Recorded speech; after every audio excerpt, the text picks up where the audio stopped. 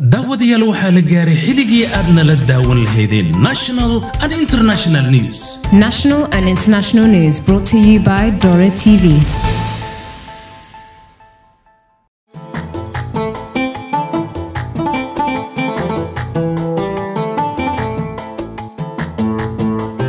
asalaamu calaykum waraxmatullaahi wabarakaatu dhammaan asxaabteenna sharafta iyo qiimaha leh. Sidaad la socotaan bisha barakaysan ee ramadaan ayaa fooda nagu soo haysa. Golden sbice waxa ay idiin diyaariyeen. Xawaaji runtii markii aad aragto aad durbadiba ismayl garaynayso oo aad soo urinayso caraftiisa gacantaada ka hari maayo. Ma aha xawaaj qalalan oo runtii aad ka naxayso waa xawaaj marka aad raashinka aad ku darsato dereerka iyo deriskaba ay dibadda ay ka dareemayaan. Haddaad karsanayso bariis ama baasto hilib digaag ama jikin galaamuuda sambuusi iyo raashinka kale oo ay soomaalidu ay jecel yihiin golden spice waa xawaajka keliya oo aad ku qanci doonto haddii aad u baahan tahay.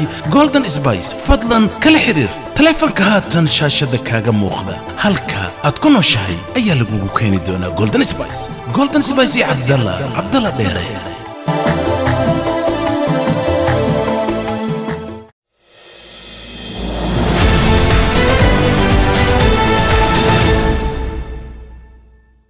Asalaamu calaykum waraxmatullaahi wabarakaatu dhammaan daawadayaasheena sharafta iyo qiimaha leh meel walba aad caalamka aad naga daawanaysaan ku soo dhowaada national and international news oo habeenkan caawa ah oo ay taariikhdu tahay lix iyo tobanka bisha labaad ee sanadka labada kun iyo afar iyo labaatanka. Lana mid ah lixda bisha shacbaan ee sanadka kun iyo afar boqol iyo afartan iyo shanta ee hijriyadda islaamka daawadayaal wararkeena habeenkan caawa ah waxa aan ku soo qaadan doonaa markii ugu horeysay maxkamad weyn oo ku taala waddankan britain old bailey oo haweenay soomaaliyeed ku xukuntay toddoba sano kadib markii gabar ay dhashay ay u kaxaysay iyadoo saddex sano jir ah waddanka kenya islamarkaasina ay ku soo guday daawadayaal wararkeena kale ee habeenkan caawa ah waxaa ka mid ah roobab aad u ba'an oo la filayo in ay ka da'aan waddankan britain siiba england maalmaha sabdiga iyo maalinta axadda qiimaha batroolka ee gaaska guryaha lagu isticmaalo oo ay dowladda sheegtay in ilaa iyo saddex boqol oo baamka lacagta waddankan britain ay dadku ay seefgarayn doonaan iyadoo dowladdu markaas ay doonayso in ay saacido shirkadaha keenaya gaaska dabiiciga ee waddankan britain. Laba kursi oo ka mid ah mudanayaal xilka iskaga tagay oo xisbiga conservative-ka oo habeenkii cod loo qaaday habeenkii xalay ahayd ayaa waxaa ku guulaystay xisbiga laybarka labada kursi. Waddanka masar oo la sheegayo in ay xuduudka u dhexeeya palestine siba gaza ay derbi weyn ay markaasi ay ka dhisi doonaan. Wasiirka batroolka ee waddanka soomaaliya ayaa maanta waxa uu ku dhawaaqay in ceelka ugu horeeyey ee batrool ah oo ay soomaalidu ay leedahay la qodi doono oo markaasi la soo saari doono. Saddexdii bilood ee ugu dambeysa ee sanadkani labada kun iyo afar iyo labaatanka arrimaha bulshada ayaan qaybtaasi aan ku soo qaadan doona waxaan filayaa dad badan in ay dhigahooda inta badan ay ka buuxday. Soomaaliya waa dhul nimcaysan oo batrool ayaa ka buuxa. Wasiirka batroolka ee soomaaliya cabdirasaaq cumar maxamed ayaa maanta ku dhawaaqay in ceelka ugu horreeya la soo saari doono aakhirka sanadka labada kun iyo afar iyo labaatanka ilaa iyo horaanta labada kun iyo shan iyo labaatanka. Hadduu eebbi subxaana wa tacaala uu raalli ka noqdo qaybta arrimaha bulshada ayaan ku soo qaadan doonaa.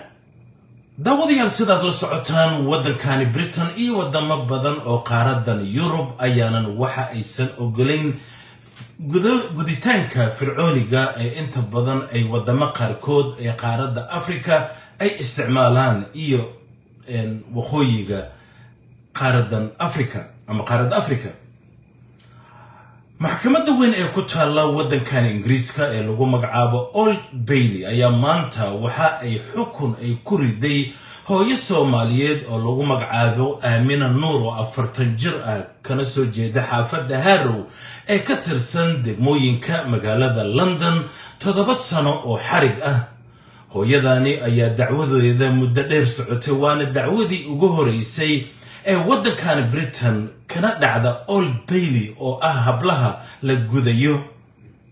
Hooyadan ayaa waxaa la sheegayaa sanadka markuu ahaa labada kun iyo lixdii gabadheeda oo aad u da'yareed oo saddex sano jir ah ay markaasi ay u waday waddanka kenya islamarkaasina ay soo guday. Hooye aamina nuur ayaa runtii ilaa iyo xilligaasi ama xilli aad u fog dacwadeeda ay ka socotay waddankani britain siiba magaalada london. Gabadha haatan waxa ay jirtaa kow iyo labaatan sano oo sharciga dartiisa maxkamaddu waxa ay sheegtay in aysan magaceeda aysan soo gudbinaynin. Gabadhan oo iyada oo saddex jir ah la geeyey waddanka kenya laguna soo guday ayaa waxa ay macalimadeeda u sheegtay markii ay lix iyo toban sano jir ahayd macalimadeeda ingiriiska u dhigaysa ama english teacherka ayaa waxa ay wacday ciidamada booliska islamarkaasina ay wargelisay in inan ka mid ah ama gabadh ka mid ah ardaydeeda la soo guday laguna soo guday waddanka kenya. Arrintaasi durbadiba waxaa action qaaday ama ficil ciidamada booliska oo markaasi kiiskani la wareegay maxkamadna u gudbiyey maanta ayaa ay maxkamadda old bailey dacwadii ugu horeysay history taariikhda waddankan britain gashaa hooyo soomaaliyeed ay ku xukumeen muddo toddobo sano ah oo xarig ah. Arrintani waxa ay markaasi ay tusaale weyn ay u noqonaysaa habka uu sharciga waddankani britain uu uga soo horjeedo gudowga fircooniga gudowga fircooniga ayaad waxaad moodaa in muddooyinkii dambe uu aad u sii yaraanayo laakiinse weli ay saansaantii ama aragtadii hooyooyin badan ay ku riyoonayaan in ay hablahooda ay ka wadaan waddankan britain islamarkaasina geeyaan qaaradda africa oo ay soo gudaan. Laakiinse haddii aad soo guddo waad u jeedaan maanta hooyadani soomaaliyeed ee reer harrow kuna nooleyd magaaladan london oo xaafad ka mid ahe toddoba sano ay mutaysatay oo xarig ah. Haddii markaasi inantaada da-da yar aad isku daydo in aad holaday ahaan aad u waddo aadna geyso dhulkii hooyo ama qaaradda africa meeshay doontaba ahaatee de aakhirkii gacanta dowladda in aysan ku dhaafaynin la socda. Waayo carruurta aynu dhalnay waxa ay la sheekaystaan macallimiintooda waa aynu u sheegaan in hablo badan oo markaasi wax badan qarsanaya in ay waddankan britain ay ku nool yihiin. Qof waliba inuu arrintaasi ka taxadiraa kana digtoonaadaa eeraboorada waddankan ingiriiska ayaa hablaha marka holiday la aadayo siiba marka ay yaro shakiyaan ayay interview la yeeshaan gabdhahaasi lana weydiiyaa in sababta ay u baxayaan ay tahay in gudooga fircooniga lagu sameeyo arrintan ayaad waxaad moodaa xitaa culimada islaamka in aysan ogoleen gudowgan fircooniga ah. Ulajeedada ugu weyn ee gudowga fircooniga loo sameeyo ay soomaalidu iyo wadamo badan islaam ah loo sameeyo ayaa waxa ay tahay in la yareeyo dareenka inanta muslimadda ah si markaasi ay aragtida iyagu ay markaasi aaminsan yihiin ay tahay in ay gabadhaasi aysan dareen zaa'id aysan yeelanin laakiinse sheekadaasi dee shuruuc culus ayaa ka soo degtay oo haddii aad dembigaasi gasho waddankan ingiriiska taariikhda ugu horeysay ee maxkamadaha ayaa maanta la soo afjaray oo hooyo soomaaliyeed waxa ay mutaysatay in toddoba sano oo xarig ah la xiro daawadayaal anigoo weli ku sii jira wararka national and international news sida aad la socotaan waddankan ingiriiska ayaa waxaa lagu jiraa xilligii qaboobaha oo roobab ba'an ay aad i aad ay u da'ayaan. Iyadoo arrintaasi ay jirto ayaa xafiiska saadaasha hawada ee waddankan britain maanta waxa ay ku dhawaaqeen in maalinta sabdiga oo birita ah iyo maalinta axadda la filayo qaybtan england in ay roobabkaasi ay ka di'i doonaan waxay ugu digeen dadka inta badan safarada micno darada u aada gobollada in ay arrintaani ay ka taxadiraan roobabkan oo ay sheegayaan in ay dabeelo islamarkaasina ay yihiin roobab dhibcaha roobka uu aad i aad u badan yahay islamarkaasna laga yaabo in jidadka qaarkood biyo ay buuxdhaafshaan. Haddii aad safar tahay islamarkaasina aad doonayso in aad gobollada qaarkood ee waddankani britain aad u safarto siiba england in ay roobab dabeelo wata ay jiraan la socda waa maalinta birito iyo maalinta xigta oo axadda hadduu eega subxaana wa tacaala uu raalli oo ka noqdeen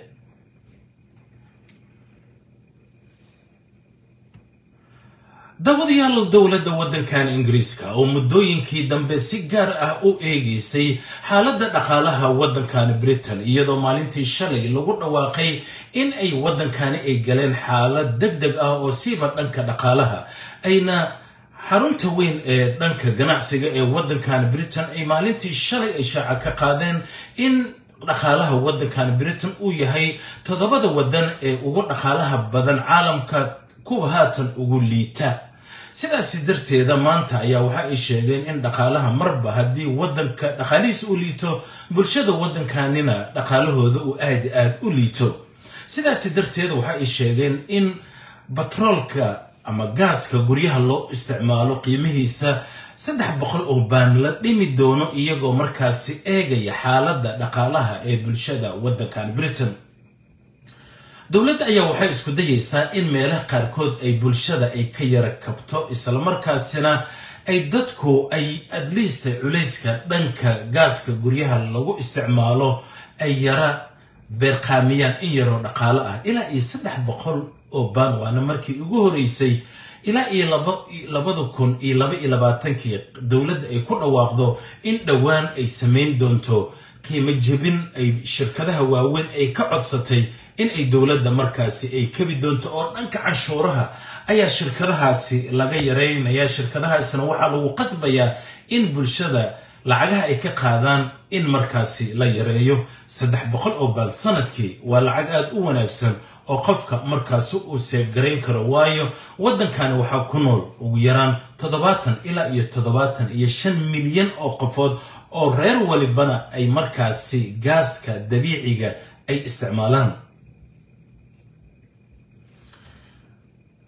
Daawadayaal sida aad la socotaan caalamka bulshada waxay aad iyo aad u isticmaalaan social networka oo ay moodo in siyaabo kalan ay dadku ama siyaabo kala duwan ay dadku isticmaalaan. Social networka ayaa haatan waxaad moodaa dhankaasi iyo dhaqaalaha in uu ku sii badanayo oo shirkadaha badankooda ay bilaabeen in ay wax ay ku iibiyaan tiktoka oo runtii haatan caalamka aad i aad ugu caansan uu markaasi uu u awood sheegtay shirkado badan sida ebay sidoo kale amazon oo runtii caan ah oo alaabado badan iibiya sidoo kale waxa ay dhulka ay ku jiideen instagram iyo shirkado badan oo markaasi onlineka caan ku ahaa. Tiktok waxa uu noqday suuqa ugu iibsiga badan ee alaabadaha. Aniga saalim dhowra waxa aan markaasi inta badan aan soo saaraa niyuusyada aan leeyahay bulshada soomaalidu ha ka faa'iidaystaan dadka inta badan waxa ay leeyihiin like ii saar ama loof ii saar laakiinse weligay ma aanan isticmaalin in loof la ii saaro ama like la ii saaro anigoo sidaas iskaga guurguuranaya ayaa nasiib wanaag habeenkan caawa ah. Waxaan gaaray sagaal kun sagaal boqol iyo sagaashan iyo sagaal. Gabadhii ugu dambeysay oo gaarsiisay sagaal kun sagaal boqol sagaashan iyo sagaal waa gabar lagu magacaabo xaliimo ja'far ayaa waxay gaarsiisay sagaal kun iyo sagaal boqol iyo sagaashan iyo sagaal qofood. Waxaan dhowrayaa qofka markaasi tobanka kun buuxiya kadib. Gabadhaani la yidhaahdo xaliimo jacfar sidii aan weligayba mar waliba oo aan barnaamijyadeena ama wararkeena aan hadiyadaha aan dhiibno ayaa hadiyadaasi waxaa leh xaliimo jacfar oo aan filayo dhankaasi iyo tictokga in aan kala xiriiri doono. Waayo waxa ay gaarsiisay number aan aada u jeclahay oo ah sagaal kun sagaal boqol iyo sagaashan iyo sagaal. Waxaan dhowraa waxaa weeye qofka tobanka kun markaasi gaarsiin doonta habeenkan caawa ah. Aad baanu u mahadsan tihiin dadkii sagaalka kun gaarsiiyey. Walow mar waliba aan famous ku ahay nin la yidhaahdo guurguurtee waayo youtube-kaygana waa uu dhaqaaqilaasan yahay. Bad alxamdulilah tiktok-gaygana habeenkan caawa ayuuba toban kun gaarayo. Waaba loo dhow yahay oo haatan sagaal kun iyo sagaal boqol iyo sagaashan iyo sagaal. Runtii im sorry qofkan magaciis kuma soo qorin. Laakiin inta haatan idin hadlayay waxaan gaaray runtii ten k ten k. Waad ujeediina malaynaya nasiib wanaag qofka toban kunka gaarsiiyey magac uguma qorno fadlan igala soo xiriir qaybta messengerka. Hadiyadda aan ugu talagalay ten ayaan insha allah meel kastoo aad markaas caalamka aad ku nooshahay isgaarsiinta aad bay u fuudaatay fadlan waxaan filayaa qofkaasi tobanka kun gaarsiiyey habeenkan caawa ah. Dee magac uguma qorno am sorry runtii aadan uga xumahay. Qofka tobanka kun gaarsiiyey habeenkan caawa waa i taariikh. Runtii waxaan jeclahay qofkaani inuu ila soo xiriiro qofkan u u r e ayaa u qoran. U u r e qofkaani w r e ga u qoran fadlan igala soo xiriir. Waayo toban kun ayuu habeenkan caawa gaarsiiyey. Ten intaan newska ku jiray. Gabadhii waa haystaa xaliimo jacfar iyo qofkii ten k-ga gaarsiiyey. Waa igu ballan habeenkan caawa ah. Hadduu ila soo xiriiro de hadiyadaada mise maraykan joog mise soomaaliya joog meeshee doontaba soomaaliya ka ahaato dee dahabshiil baa shaqaysay fadlan qofkaasa ila soo xiriiro. Ten k iyo nine nine nine qofka gabadha la yiraahdo xaliimo jacfar oo sagaal kun iyo sagaal boqol iyo sagaashan iyo sagaal gaarsiisay. Waa number aad aan u jeclahay. Qofkii ten k-ga gaarsiiyana aad baan ugu mahad celinaya. Runtii ten k tiro yar ma ahan. Saaxiibkiina guurguurta habeenkan caawa ten k ayuu gaaray siiba dhankan iyo tiktok oo aan wararka inta badan hordhacaan ku soo gudbiyo dadka newska daawada tiktoka waxa ay gaarayaan boqol iyo laba kun oo qofood. Boqol keliya maaya boqol kun ayaan ka hadlayaa iyo labo. Boqolkaasi kun waa aysan dhankan u soo aadan war waxa caataysnaa waa wada caatee. Marka gabadha la yiraahdo xaliimo jacfar aad baan ugu mahad celinaya habeenkan caawa oo gaarsiisay sagaal kun sagaal boqol iyo sagaashan iyo sagaal qofood waxaa kaloo aan sugayaa qofkii gaarsiiyey ten k. Toban kun oo qofood. Tiro yar ma ah ilaha idin xafido. Daawadayaal inta aan ku jiro wararka waddankani britain asxaabay waddanka masar ayaa waxa ay ku dhawaaqeen in ay dhisan doonaan derbi weyn. Yaa laga dhisanaya? Waa palestine falastiinta ayaa laga dhisanaya. Allahu akbar. Runtii ilaa hadda waddanka masar go'aankaas ayaa maanta ay ku dhawaaqeen in xuduudda iyaga iyo palestine u dhexeeya in derbi dheer laga dhisi doono. Warkaas kuma sii dheeraanay maaha good news laakiinse albaab bay samayn doonaano oo markaasi qofkii u baahda dhanka caafimaadka waxyaabahaas oo kale inuu dhankaas albaabkaasoo keliya ay ka soo galaan. Ilaahi subxaana wa tacala waxaan ka baryaynaa in xaafadahana lagu xirxirin. Allahu akbar. Haddii noola yiraahdo hal xaafad uun ka soo baxa halkaas albaab iyadana dhibkeed ayay leedahay. Ilaahi subxaana wa tacaala balastan culeyskaa ka qaada daawadayaal wararkeena national international news oo qeybta ugu muhiimsan ay ahayd haweenay soomaaliyeed oo inanteeda oo saddex sano jir ah labada kun iyo lixdii kenya u geysay in la soo guda ama lagu soo guday aan iraahde oo haatan kow iyo labaatan jira oo maxkamadda all bailey taariikhda historyga waddankan britain maanta ay noqotay haweeneydii ugu horeysay oo toddoba sana oo xarig ah lagu xukumay kadib markii inantaasi lagu soo guday waddanka kenya. Gabadhaas haatan waa kow iyo labaatan jir. Sharcigana ma dhigaya in magaceeda lagu dhawaaqo. Sidoo kale maxkamadda ayaa waxa ay sheegtay inay digniin ay markaasi u gudbinayaan hooyo kasta oo soomaaliyeed oo ku indha adeegta inay inanteeda ay wado islamarkaasina qaaradda africa ay ku soo guddo garoomada waaweyn ee waddankani ingiriiska siiba waddankani britain idil aan iraahde ayaa waalidiinta soomaalidu mararka qaarkood haddii laga shakiyo waxaa la waraystaa carruurta siiba gabdhaha lana weydiiya. Ulajeedada safarkooda waxa uu yahay markay soo laabtaana dee isha ayaa lagu hayaayo inanta haddaad soo guddo sida hooyada soomaaliyeed ee reer harow ee maanta lagu dhawaaqay toddoba sano oo xarig ah ayaa intaasi in ka badan laga yaabaa in aad mutaysato.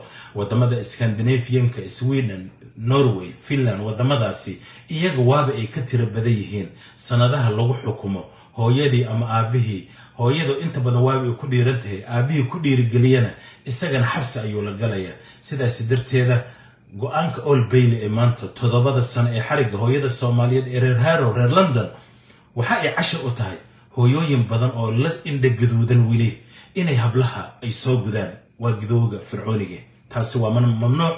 Waddankani britain maantana waxaad dareemaysaa in old baylo ah maxkamadda ugu saraysa waddankani britain ee hooyadaasi toddoba sano ay xabadka u dhigeen